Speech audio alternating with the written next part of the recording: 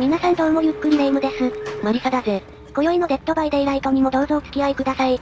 今回のキラーはフレディか。そうよ、ちなみに発電機の修理は完了したみたいなんだけど、私は残念ながら今追われているわよ。ゲートもまだ開いていないし、ノーワンがあったら怖いな。そうね、でもこんなところにロッカーが。今完全にバレただろ。だけど開けられなかったわ。このままやり過ごせるだろうか。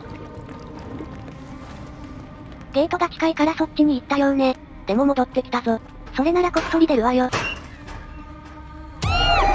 えー、ちょっと待って、ドリームスネアって宙に浮くようになったの？これはただのバグだろう。以前アップした動画でも宙に浮いたサバイバーがいただろう。そういえばそんなことがあったわね。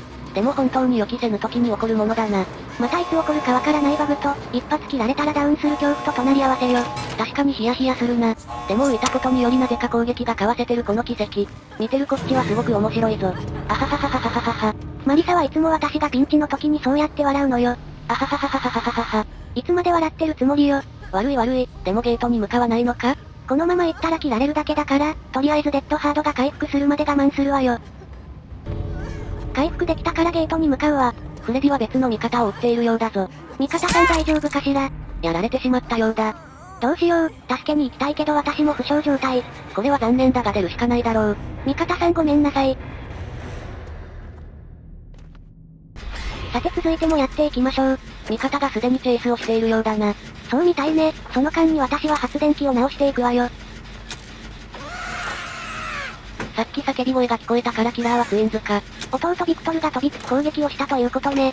でもまだ負傷中の味方は頑張ってくれてるようだな。もうすぐで発電機が治るから頑張ってもらいたいわ。1台治ったな。しかし味方がダウンしてしまった。なんですって？我の大切な味方さんに。渾身の一撃を食らわしてやったわ。味方さんを傷つけたらレイムが許さないってことを身をもって知ったはずよ。今日のレイムは強気だな。そうよ、そして強気のままロッカーイン。それはただ回復したいだけだな。ふぅ、すっきりしました。トイレに行った感じで言うのはやめろ。では回復もできたから瀕死状態の味方さんの元へと向かうわ。心音が聞こえてきたぞ。近くにシャルロットが。しかもあそこに弟がいるぞ。もう一発お見舞いしてやる。だがその間にさっきの味方が釣られてしまったようだ。ここはしっかりレイムちゃんが救助します。そして優しく治療もしてあげましょう。奥の方で何かが動いたな。ビクトルが来たわ、私に飛びつく気そう簡単には。いや簡単すぎだからな。よしよし、どうしたの？迷子かな？お姉ちゃんと森に遊びに来たの兄弟仲良しなんだねでもね飛びつく相手を間違えちゃったねさっさとお姉ちゃんの元へ帰りな。チクチ決まった。決まったも何もしっかり攻撃受けてたからな。そして本日2回目のロッカーイン。発電機も残り2台になりました。今回ほとんど発電機触ってないじゃないか。言われてみればそうね。でも発電意識の高い味方さんに助かってるわ。そうだな。レイムは弟と遊んでばかりだからな。失礼しちゃうわね。遊んでなんかいないわよ。こうして救助に向かっているじゃない。その間に発電機がまた1台治ったようだ。釣られてはいるけど、残り4人なら脱出の可能性が高まってきたわね。できるなら全員脱出したいからな。ビクトルの声が。また飛びついてきたわ。ビクトル君、散々私にやられても飛びつくなんて、また痛い目に会いたいのね。お前が痛い目にあったぞ。お姉ちゃんの怒りに触れたのね。でもレイムのことは釣らないな。救助された味方さんが次釣られれば最後だから、そっちに行ったようね。結局さっきの味方は3釣り目で終わってしまったようだ。そして私が追われているわよ。やられてしまった。でも釣られてもレイムは初釣りだな。そうね、だから味方さんには発電機に集中してもらいたいわ。レイムが運ばれている間に発電機が治ったぞ。味方さんナイスね。そして無事に救助もしてくれたわ、ありがとう。しかしまだゲートが開いていないようだ。近くにビクトルもいるようね。飛びつき攻撃は外れたようだな。でもまだビクトルの声が聞こえる。レイムに狙いを定めているんだろう。私は今あなたに構ってる暇はないのよ。遊んでほしいなら別のお姉さんのところに行きなさい。どうしてもレイムと遊びたかったようだな。だけどまた釣らないみたいだわ。近くに味方も来てくれているぞ。味方さん。これは厳しい展開になってしまったぞ。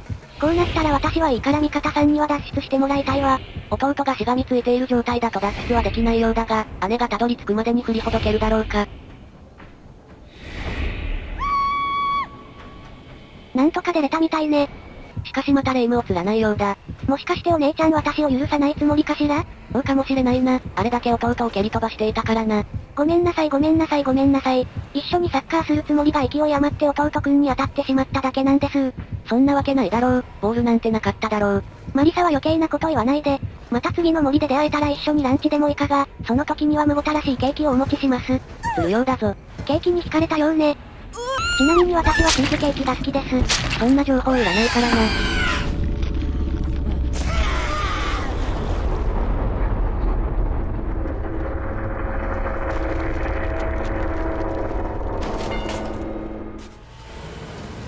さて今回の動画はいかがだったでしょうか？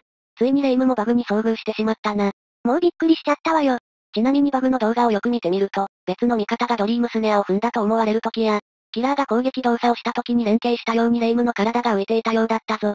でも通電するまでは特にバグも起きてなかったから、本当によくわからないバグだわ。まあこればかりは仕方がないな。引き続き今後のバグを検証していきたいと思います。別にバグを検証していく動画ではないからな。そうなの？デドバをプレイしてるみんなにためになる動画が目的じゃなかった？違うぞ。この動画はレイムのゲームプレイを面白おかしく晒すための動画だ。ひどい。ではそろそろこの辺で。終わりにしようとしないでよ。また次の動画でお会いしましょう。もういいわよ。バイバイ。